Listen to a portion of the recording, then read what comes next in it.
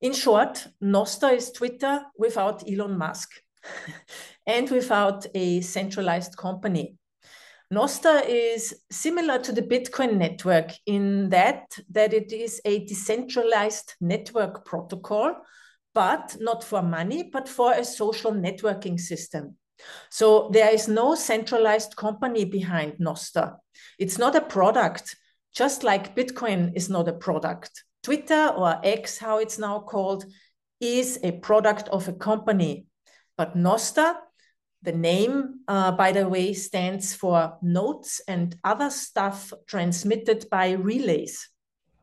Yeah, a rather complicated name, but Nostr is easy to remember. And in this decentralized network, anyone can start to run a relay.